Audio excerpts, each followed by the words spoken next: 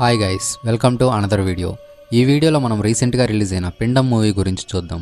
ఎవరైనా pregnant ladies ఈ వీడియోను ఓపెన్ చేసినా లేదంటే ఎవరైనా ప్రెగ్నెంట్ లేడీస్ ఈ మూవీని చూడాలి అనుకున్నా సరే మీరు ఈ మూవీకి ఈ వీడియోకి రెండింటికి దూరంగా ఉండండి. మీకు డిస్టర్బింగ్గా అనిపించే కొన్ని విజువల్స్ ఈ మూవీలో ఉంటాయి. అండ్ వీడియో స్టార్ట్ చేయబోయే ముందు మీ అందరికీ ఒక చిన్న రిక్వెస్ట్ గైస్ వీడియో అంతా అయిపోయాక మా ఎక్స్ప్లెనేషన్ మీకు నచ్చితే వీడియో ఎంటర్టైనింగ్గా మీకు అనిపిస్తే మా వీడియోని లైక్ చేసి ఛానల్ని సబ్స్క్రైబ్ చేసుకోండి. మీరు చేసే ఆ ఒక్క లైక్ ఆ ఒక్క సబ్స్క్రైబ్ వల్ల మాకు చాలా ఎంకరేజ్మెంట్ వస్తుంది. Please subscribe and support us ఇంకా లేట్ చేయకుండా కథలోకి వెళ్దాం. ఓపెన్ చేస్తే అన్నమ్మ తన కారులో వెళ్తూ కనిపిస్తుంది. ఈమె గురించి సింపుల్గా చెప్పాలి అంటే ఎవరైనా మనుషుల్ని ఆత్మలు ఆవహించి వారిని ఇబ్బంది పెడుతుంటే అన్నమ్మ ఆత్మల నుండి వారికి విముక్తి కలిగిస్తుంది. ఆ పని మీదే అన్నమ్మ ఒకరి ఇంటికి వెళ్తుంది. ఆమె కార్ దిగాలని చూస్తుండగా ఒక కుక్క కార్ దగ్గరికి వచ్చి గట్టి గట్టిగా అరుస్తూ దాని తలని కార్ డోర్కి చాలా స్పీడ్గా గుద్దుతుంది. అలా చాలాసార్లు ఆ కార్ని దాని తలతో గుద్ది అది అక్కడే తల పగిలి చనిపోతుంది. అన్నమ్మ కార్ దిగి తన డ్రైవర్తో ఇది కుక్కలా లేదు ఏదో వింత జీవిలా ఉంది. దీనివల్ల ప్రమాదం రావచ్చు తీసుకెళ్ళి పాతి పెట్టమని చెప్తుంది. అన్నమ్మ ఆ ప్రాబ్లం ఉన్న ఇంట్లోకి వెళ్తుండగా లోక్నాథ్ అక్కడికి వచ్చి తనని పరిచయం చేసుకుని ప్రొఫెసర్ దశరథరామ్ గారు నన్ను కేస్ స్టడీ కోసం మీ దగ్గరికి పంపించారు. మీరు యాక్సెప్ట్ చేస్తే నేను మీతో కొన్ని రోజులు ట్రావెల్ అవుతానని అంటాడు. అన్నమ్మ కూడా దానికి ఒప్పుకుంటుంది. అన్నమ్మ ఇంట్లోకి వెళ్ళి అంతా పరిశీలించగా మొక్కలన్నీ వాడిపోయి ఉంటాయి. ఆమె తనని పిలిచిన వ్యక్తి యొక్క కూతురితో స్కూల్కి వెళ్తున్నావా అని మాట్లాడగా దానికి ఆ పాప స్కూల్లో ఏముంది? నేను న్యూస్ పేపర్లోనే ఎక్కువగా నేర్చుకుంటున్నాను అని తెలుగులో మాట్లాడుతుంది. దానికి ఆ అమ్మాయి నాన్న భయపడి అన్నమ్మతో అన్నమ్మగారు మేము వన్ వీక్ బ్యాకే యూఎస్ఏ నుండి వచ్చాం. అదే మా నాన్నగారు చనిపోయిన తర్వాత. మా పాపకు అసలు తెలుగే రాదండి అని చెప్తాడు. అదే సమయంలో ఇంట్లోని వస్తువులన్నీ ఒక్కొక్కటిగా కింద పడిపోతాయి.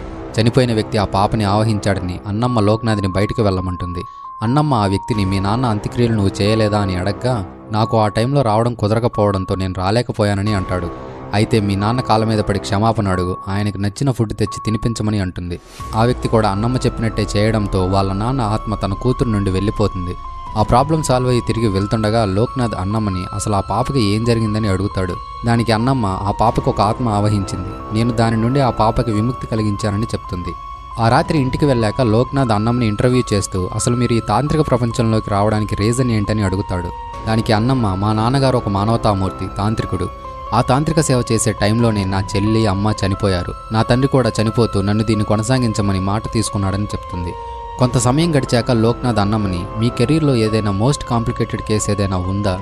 మీకు కూడా నేను ఇది సాల్వ్ చేయలేనేమో అనిపించేలాంటిది ఏదైనా ఉందా? అని అడుగుతాడు. దానికి అన్నమ్మ ఒకే ఒకటి ఉంది. అది మిగిలిన వాటికన్నా చాలా ప్రత్యేకమైనది. అపార శక్తి కలిగిన ఒక ఆత్మ ఈ భూమి మీద జన్మించడానికి అవకాశం దొరికిన కథ అది. అలాంటి కేసు ఇన్ని సంవత్సరాలు నాకు మళ్ళీ ఎప్పుడూ ఎదురవ్వలేదని అంటుంది. కట్ చేస్తే నైన్టీన్ నైన్టీ శుక్లాపేటలో ఒక పెద్ద ఇంటిని కొన్న ఫ్యామిలీ దగ్గర కథ మొదలవుతుంది. యాంటనీ అండ్ మేరీ ఇద్దరు భార్యాభర్తలు. మేరీ అప్పటికే ప్రెగ్నెంట్గా ఉంటుంది. కానీ అంతకుముందే తనకి ఇద్దరు ఆడపిల్లలు పుట్టి ఉంటారు. వాళ్ళ పేర్లు సోఫీ తారా. తారాకి అసలు మాటలు రావు. తను మోగమ్మాయి. అందరూ తనతో సైన్ లాంగ్వేజ్లోనే మాట్లాడుతుంటారు. యాంటోనీ మదర్ పేరు సూరమ్మ. మేరీకి ఎలాగైనా మూడవ కాన్పులో మగబిడ్డే పుట్టాలని అలా పుట్టేది చనిపోయిన తన భర్తే అని మగబిడ్డ కోసం ఎదురు చూస్తూ ఉంటుంది. ఆ ఇంట్లో ఒక రూమ్కి మాత్రం చెక్కతో లాక్ చేసి ఉంటారు. దాన్ని ఓపెన్ చేసి చూస్తే పాత ఫర్నిచర్ ఉంటుంది.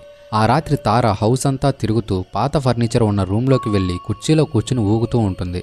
తార కుర్చీ నుండి దిగగానే ఆ రూమ్ నుండి ఏవో శబ్దాలు రావడంతో తను భయపడి పారిపోతుంది. డిన్నర్ చేశాక ఆ పాప మళ్ళీ రూమ్లోకి చూడగా అంతా నార్మల్గానే ఉంటుంది. కానీ తారా కొంచెం ఆ రూమ్ నుండి ముందుకు వెళ్ళగానే ఎవరో కుర్చీని లాగిన శబ్దం వినిపించి వెనక్కి వచ్చి మళ్ళీ చూడగా ఆ కుర్చీ అక్కడ ఉండదు. తారాకి భయం వేసి తన రూమ్లోకి పరిగెత్తుకుంటూ వెళ్ళి పడుకుంటుంది.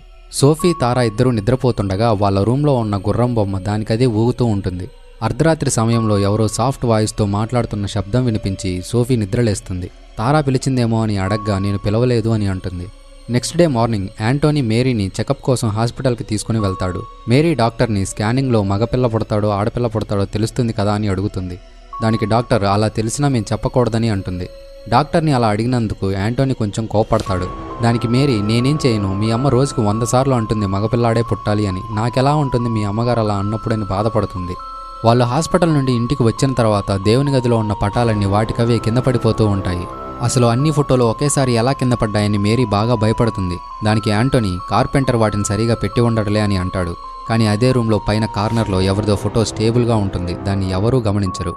తారా స్టోర్ రూమ్లో డ్రాయింగ్ వేసుకుంటుండగా ఆ కుర్చీ దానికదే తారా వైపు తిరుగుతుంది. ఆ సమయంలో తారాకి ఒక ఆత్మ పగరూపంలో కనిపించి తనని ఆవహించడంతో తారా వెళ్ళి ఆ కుర్చీలో కూర్చొని ఫాస్ట్గా ఊగుతుంటుంది. ఆ చైరు ఊగుతున్న సౌండ్ విని మేరీ స్టోర్ రూమ్లోకి వచ్చి కింద పడితే మళ్ళీ దెబ్బలు తగులుతాయని తారాని అరిచి తనని తీసుకెళ్తుంది. మేరీ ఆ రూమ్ డోర్ వేసి వచ్చేశాక ఒక ఆత్మ బయటికి రావాలని గట్టిగా ఆ రూమ్ డోర్ని కొడుతుంది. యాంటోనీ పనిచేస్తున్న రైస్ మిల్ ఓనర్ యాంటోనీతో ఇన్కమ్ ట్యాక్స్ వాళ్ళ నుండి ప్రాబ్లమ్స్ ఎక్కువగా ఉన్నాయి. ఆరు నెలలు నేను మిల్లు మోసేస్తున్నాను. నువ్వు రెండు నెలలు ఉండి అకౌంట్స్ చూడు. మిగిలిన అందరికీ డబ్బులిచ్చి పంపించేయి అంటాడు. ఆ రోజు రాత్రి యాంటోనీకి మిల్లులో లేట్ అవుతుంది. ఇంటికి వెళ్ళడానికి స్కూటీ కూడా స్టార్ట్ అవ్వదు. ఆ ఊరి వ్యక్తి ఒకరు యాంటోనీతో ఆ స్కూటీ స్టార్ట్ అవ్వదులేండి ల్యాంతర్ తీసుకుని మీరు ఇంటికి వెళ్ళండి అంటాడు. కొంత దూరం వెళ్ళాక ఒక్కడికే వెళ్ళడానికి యాంటోనీకి భయం వేస్తుంది. అదే దారిలో వెళ్తున్న మరొక వ్యక్తిని తోడు రమ్మని అడుగుతాడు. యాంటోనీ అతనితో మాట్లాడుతూ ఇంటి దగ్గరికి వచ్చాక ఇదే మా ఇల్లు అని అతనికి చూపిస్తాడు. కానీ అప్పటి వరకు తనతో వచ్చిన వ్యక్తి కనిపించకుండా పోతాడు. అతను ఏమయ్యాడని యాంటోనీ కాస్త షాక్ అవుతాడు. ఇంటి దగ్గరికి వచ్చి ఇంటి బయట ఉన్న బావి దగ్గర మొహం కడుక్కుంటుండగా ఆ దారిలో తనతో వచ్చిన వ్యక్తి తన పక్కనే నిలబడి ఉన్నట్టు అతని కాళ్ళు కనిపిస్తాయి. యాంటోనీకి భయం వేసి పైకి చూడగా అక్కడ ఎవరూ ఉండరు. యాంటోనీ వెంటనే ఇంట్లోకి వెళ్ళి మేరీకి సూరమ్మకి జరిగిందంతా చెప్తాడు. దానికి సూరమ్మ ఇల్లు వచ్చేసిందని అతను వెళ్ళిపోయి ఉంటాడులే నువ్వు కంగారు పడుకో అని అంటుంది. ఆ రోజు రాత్రి సోఫీ తార నిద్రపోతుండగా వాళ్ళ రూమ్లో ఎవరో మాట్లాడుతున్న శబ్దానికి సోఫీ మేల్కొంటుంది. బెడ్ మీద చూడగా తారా కూడా పక్కన ఉండదు. సోఫీ రూమ్ అంతా చూస్తుంది. కానీ తార సోఫీ పక్కనే నిల్చుని ఏదేదో మాట్లాడుతుంటుంది. సోఫీకి భయం వేసి గట్టిగా అరవడంతో అందరూ పిల్లల దగ్గరికి వస్తారు. సోఫీని ఏం జరిగిందని అడగ్గా సోఫీ భయపడుతూ తార నా పక్కనే నిల్చుని ఏదేదో మాట్లాడుతుంది. ఇలా జరగడం ఇది రెండవసారి అని చెప్తుంది. అప్పుడు మేరీ ఏంటి సోఫీ అబద్ధం చెప్తున్నావా? తారా ఎలా మాట్లాడగలదు? అని అంటుంది. దానికి సోరమ్మ కొత్త ఇల్లు కదా ఏదో భ్రమపడినట్టు ఉంది వాళ్ళని పడుకోబెట్టండి అని చెప్తుంది. నెక్స్ట్ డే మార్నింగ్ కార్పెంటర్ ఇంట్లో వర్క్ చేస్తుండగా సోఫీ తారాకి అతని చెల్లెలు కనిపిస్తుంది. అందరూ పైకి వెళ్ళి ఆడుకోవాలని అనుకుంటారు. పై రూమ్లో సోఫీ తారా ఆడుకుంటుండగా మేరీ అక్కడికి వచ్చి మీకు ఈ పచ్చి సాట ఎక్కడిదని అడగ్గా కార్పెంటర్ చెల్లి మాకు స్టోర్ రూమ్ నుండి తెచ్చి ఇచ్చిందని అంటారు. అదే రోజు రాత్రి సూరమ్మ తన రూమ్లో నిద్రపోతుండగా బెడ్ పక్కనే ఉన్న చైర్ దానికదే వేగంగా బెడ్ దగ్గరికి వస్తుంది.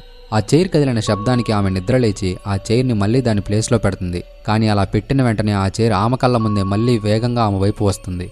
ఆమెకి కాస్త భయం వేసి చనిపోయిన తన భర్త ఫోటో దగ్గరికి వెళ్ళి వచ్చింది నువ్వేనా? నన్ను ఇంకా క్షమించలేదా? అని బాధపడుతుంది. మరుసటి రోజు ఉదయం యాంటోనీ వాళ్ళ అమ్మతో రైస్ మిల్లులో జాబ్ కూడా రెండు నెలలే ఉంటుంది. ఉన్న డబ్బులంతా పెట్టి ఇల్లు కొన్నాను. ఇప్పుడు మూడో బిడ్డని పెంచే శక్తి లేదు. అబార్షన్ చేయించాలి అనుకుంటున్నానని చెప్తాడు. వెంటనే సూరమ్మ పిచ్చి పట్టిన దానిలా యాంటోనీని కొట్టి అబార్షన్ చేయించేదే లేదు. పుట్టబోయేది మీ నాన్న. నా పెన్షన్ డబ్బులతో నేనే పెంచుతా అతన్ని అని అంటుంది. ఇంతకుముందు వాళ్ళమ్మ ఎప్పుడూ అలా బిహేవ్ చేయలేదని యాంటోనీ కూడా కొంచెం షాక్ అవుతాడు. ఆ రాత్రి యాంటోనీకి ఏవేవో శబ్దాలు వినిపించి రూమ్ నుండి కిందకు వస్తాడు. విండో నుండి చూడగా తారా బావి మీద కూర్చొని తాడును లాగుతూ కనిపిస్తుంది. ఆ టైంలో తారా అక్కడ ఏం చేస్తుందని యాంటోనీ భయంతో బావి దగ్గరికి పరిగెత్తుకుంటూ వెళ్తాడు. కానీ వెనక నుండి ఎవరో నవ్వడంతో వెనక్కి తిరిగి చూడగా ఇంటి మీద ఐదు దెయ్యాలు యాంటోనీ వైపే చూస్తుంటాయి.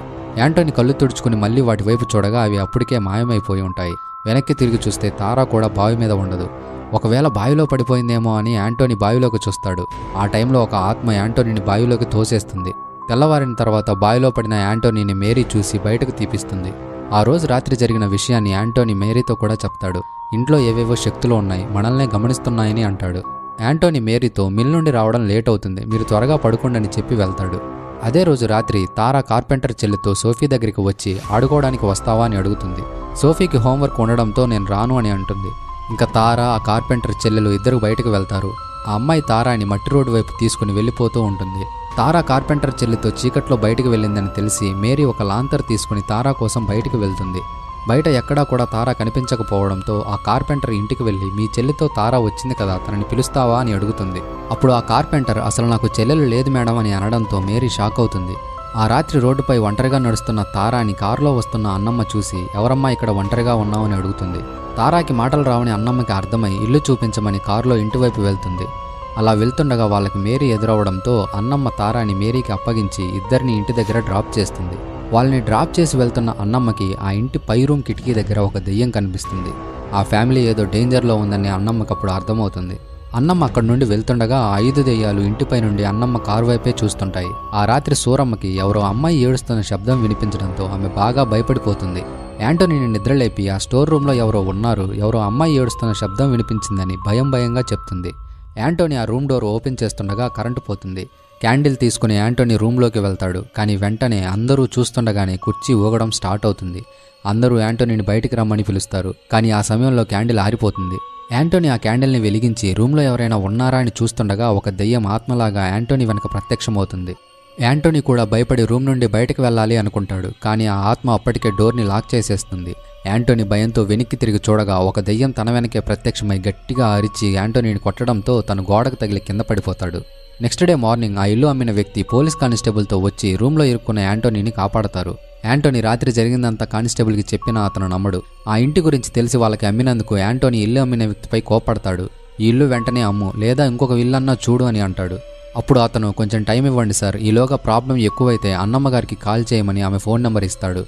రైస్ మిల్ నుండి యాంటోనీ అన్నమ్మకి కాల్ చేస్తాడు. కానీ ఆమె ఊర్లో లేకపోవడంతో ఆ కాల్ని లిఫ్ట్ చేయదు.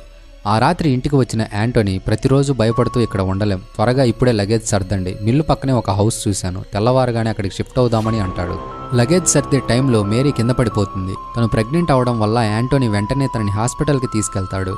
యాంటోనీ హాస్పిటల్లో ఉండగా అన్నమ్మ కాల్ చేసి మీరు పెద్ద ప్రమాదంలో ఉన్నారు. ఆ ఇంటి నుండి షిఫ్ట్ అవ్వడానికి ప్రయత్నించకండి. నేను ఊర్లో లేను. రెండు రోజుల్లో వస్తాను. అంతవరకు జాగ్రత్తగా ఉండమని చెప్తుంది. తెల్లవారుతుండగా సోఫీ హాస్పిటల్కి కాల్ చేసి నాన్నమ్మ చనిపోయింది నాన్న. మీరు త్వరగా రండి. చాలా భయంగా ఉందని చెప్తుంది. ఒక పక్క యాంటోనీ సూరమ్మ అంత్యక్రియలు చేస్తుండగా మరోవైపు అన్నమ్మ ఇల్లంతా పరిశీలిస్తూ సూరమ్మ రూంలోకి వెళ్తుంది. అన్నమ్మకి ఏదో స్మెల్ వచ్చి వెనక్కి తిరిగి చూడగా సోరమ్మ కుర్చీలో కూర్చుని ఏడుస్తూ కనిపిస్తుంది. అన్నమ్మ సూరమ్మతో నువ్వెలా చనిపోయావు సూరమ్మ అని అడగ్గా నువ్వెవరే అసలు? నా ఇంట్లో ఏం చేస్తున్నావని ఆమె మాయమైపోతుంది. ఆమె సూరమ్మతో నీకు మనవడు పుట్టబోతున్నాడు. నీ పిల్లలు ఈ ఇంట్లో ప్రశాంతంగా ఉండాలంటే నువ్వు నాకు సహాయం చేయాలని అంటుంది. ఆ టైంలో మరొక దెయ్యం గొంతు వినిపించడంతో ఆ గొంతు ఎవరిదని అన్నమ్మ రూమ్లోకి వెళ్ళి చూడగా ఆ ఇంటి పాత యజమానురాలు నర్సమ్మ కనిపించి మాయమవుతుంది. అన్నమ్మ చనిపోయిన యాంటోని తండ్రి ఫోటోని కూడా సూరమ్మ శవంతో పాతిపెట్టిస్తుంది. కానీ వాళ్ళ ఇంటికి వచ్చాక ఆ ఫోటో మళ్ళీ ఇంట్లో ప్రత్యక్షమవడంతో మేరీ చాలా భయపడిపోతుంది. అసలు పాతిపెట్టిన ఫోటో ఇక్కడికి ఎలా వచ్చిందని అన్నమ్మతో అంటుంది. దానికి అన్నమ్మ ఆ దెయ్యం తన ఆట మొదలుపెట్టిందని అంటుంది.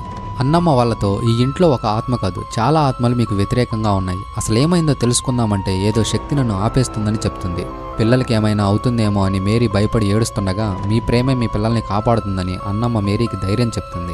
అన్నమ్మ కిటికీ నుండి చూడగా ఒక మర్రి చెట్టు కనిపించి అక్కడికి వెళ్ళి ఆ చెట్టు మీద చెయ్యి పెట్టగా అన్నమ్మకి జరిగిందంతా అర్థమవుతుంది. ఆమె ఇంట్లోకి వచ్చి అరవై సంవత్సరాల క్రితం ఈ ఇంట్లో ఒక కుటుంబం సంతోషంగా ఉండేది. కానీ ఏమైందో ఏమో ఆ కుటుంబం అతికిరాతకంగా చంపబడ్డారు. అదే విషయాన్ని ఆ చెట్టు నాకు చెప్తుంది. అలా మాట్లాడుతూ ఉండగా అన్నమ్మకి గోడ మీద ఉన్న ఒక ఫోటో ఫ్రేమ్లో తన మొహం కనిపిస్తుంది. వెంటనే పక్కనున్న టెలిఫోన్ వైర్ దానికి అదే వచ్చి అన్నమ్మ మెడకు చుట్టుకుని ఆమెను చంపేయాలని చూస్తుంది. యాంటోని ఆమెను రక్షించాలని చూసినా కూడా ఆ దెయ్యాలు అతన్ని విసిరిపారేస్తాయి. ఈలోగా అన్నమ్మ అక్కడ ఉన్న సిలువని పట్టుకోవడంతో ఆ దెయ్యం పారిపోతుంది. అన్నమ్మ యాంటనీతో మీ చిన్న కూతుర్ని జాగ్రత్తగా చూసుకోండి. అమావాస్యలోపు నేను ఈ సమస్యకు పరిష్కారంతో తిరిగొస్తానని వెళ్ళిపోతుంది.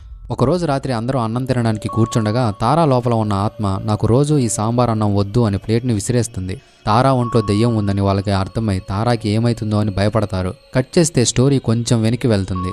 అసలు సూరమ్మ ఎలా చనిపోయిందంటే లగేజ్ సర్దే టైంలో మేరీ కింద పడడంతో యాంటోనీ తనని హాస్పిటల్కి తీసుకెళ్తాడు. అదే రోజు రాత్రి సూరమ్మ పిల్లలు ఎలా ఉన్నారు అని చూడడానికి వాళ్ళ రూమ్కి వెళ్తుండగా ఒక దెయ్యం మెట్ల మీద అలానే నిలబడి సూరమ్మ వైపు చూస్తూ ఉంటుంది. సూరమ్మ ఆ దెయ్యాన్ని చూసి భయంతో మెట్లు దిగుతుండగా ఆ దెయ్యం ఆమెను చంపేస్తుంది. కట్ చేస్తే నెక్స్ట్ సీన్లో అన్నమ్మ తన మనుషులతో ఆ ఇంటి దగ్గరికి వస్తుంది. ఆమె యాంటనీతో మీరు ఇల్లు వదిలిపెట్టి వెళ్ళాల్సిన పని లేదు. ఈ ఇంట్లోనే మిమ్మల్ని ప్రశాంతంగా ఉండేలా చేస్తానని అంటుంది. అదే రోజు రాత్రి అన్నమ్మకి మర్రి చెట్టు పైన ఒక పాప అస్థిపంజరం కనిపిస్తుంది.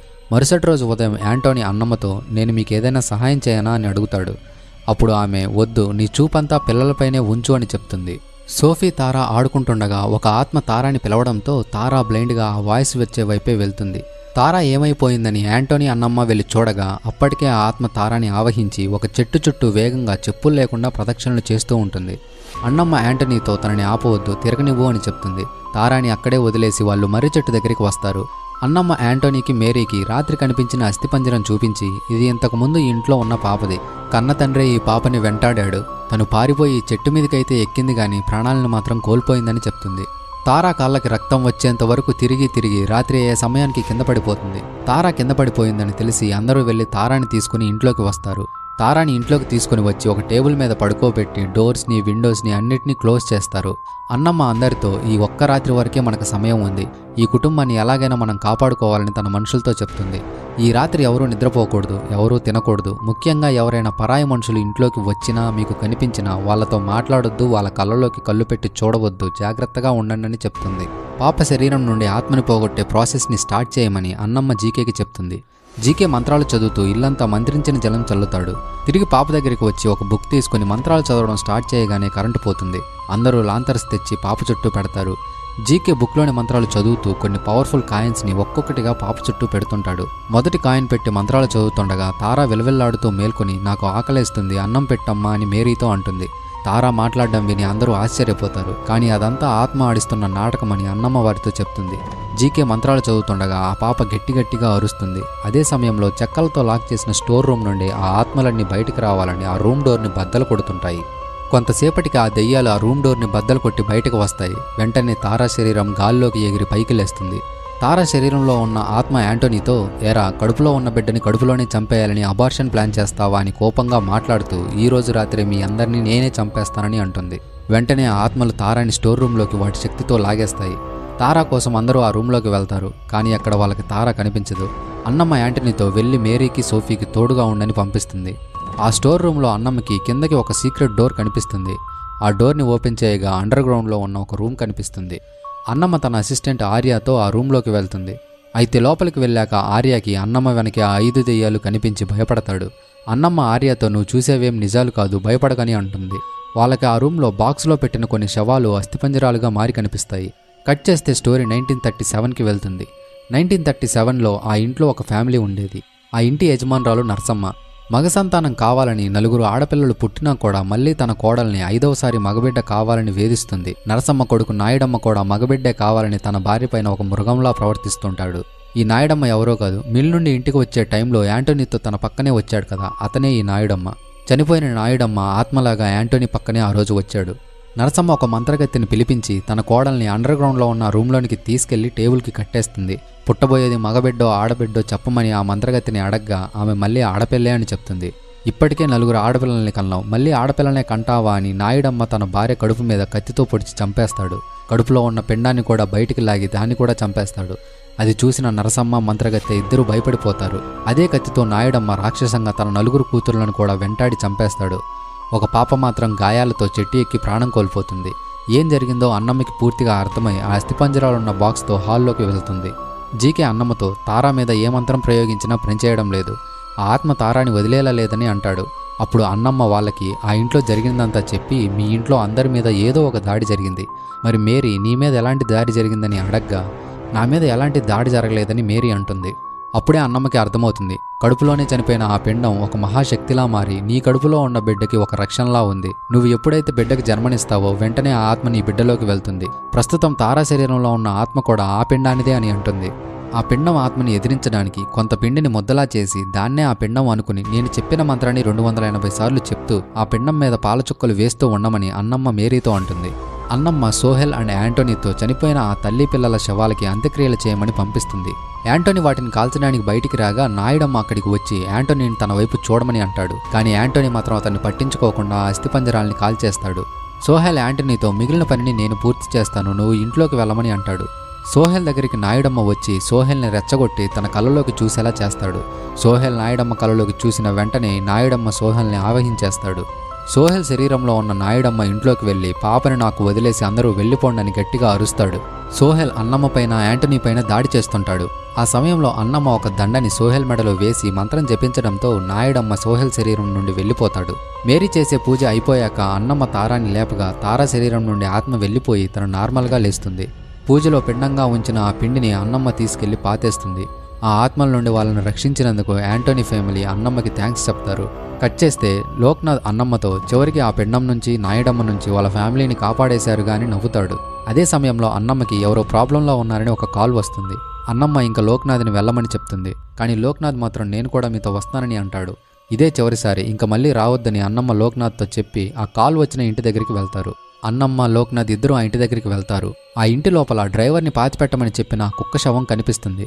అప్పుడు లోక్నాథ్ అన్నమ్మతో మీరు ఈ కుక్క శవాన్ని పాతిపెట్టమని చెప్పారుగా ఇదేంటి ఇక్కడ ఉందని అంటాడు. అదొక పాడుపడిన ఇల్లు. ఇంట్లోకి వెళ్ళి చూడగా అక్కడ ఎవరూ ఉండరు. లోక్నాథ్ అన్నమ్మతో ఎవరూ లేరుగా ఇప్పుడేం చేస్తారని అంటాడు. అప్పుడు అన్నమ్మ కాసేపు వెయిట్ చేస్తాను. నిజంగా ఎవరైనా ప్రాబ్లంలో ఉండి ఉంటే వాళ్ళని కాపాడి వెళ్తానని అంటుంది. అప్పుడు లోక్నాథ్ అన్నమ్మతో అయితే నేను లోపల ఎవరైనా ఉన్నారేమో చూసొస్తానని అంటాడు. తన దండలు వస్తువులు అన్నీ కూడా కారులోనే మర్చిపోయి వచ్చానని అన్నమ్మ టెన్షన్గా కారు వైపు చూస్తుంది. సడన్గా లోక్నాథ్ ఆమె పక్కకి వచ్చి నిలబడతాడు. నిజానికి అతను లోక్నాథ్ కాదు నాయుడమ్మ. నాయుడమ్మే లోక్నాథ్లా అప్పటి వరకు ఆమెతోటి ఉంటాడు. ఇంతటితో ఈ మూవీ అయిపోతుంది. ఈ వీడియో మీకు ఎంటర్టైనింగ్ అనిపిస్తే వీడియోని లైక్ చేసి ఛానల్ని సబ్స్క్రైబ్ చేసుకోండి. మరో వీడియోలో కలుద్దాం. అంతవరకు టేక్ కేర్. బాయ్.